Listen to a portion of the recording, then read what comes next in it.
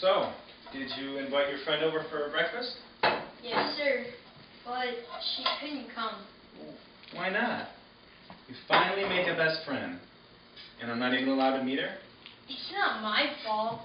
It's her evil foster moms. Evil, huh? Yeah. All Alice does is clean up and do chores, while their stupid foster sisters get to do whatever they want. We only play sometimes. Well, cheer up, sport. You only get to turn 13 once.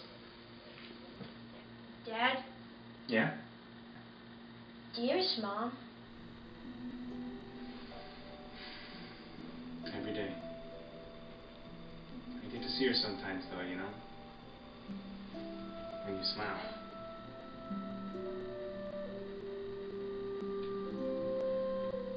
You know, Alex,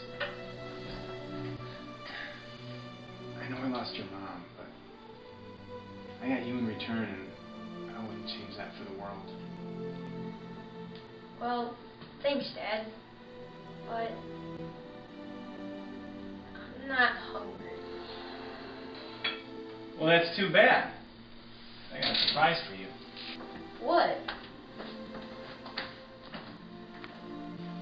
Happy birthday to you.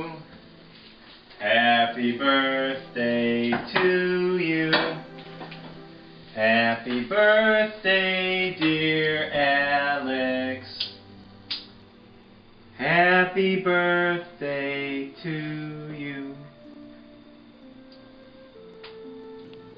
You know, if Alice were here, she'd call it my unbirthday. Because every day should be your birthday, except one day. Because life is just a dream. Sounds like something you would write in one of your books, right? Yeah, it does. Yes, great minds think alike.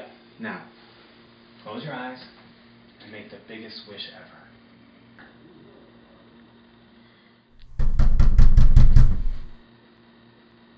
What? Are you gonna get that? Okay.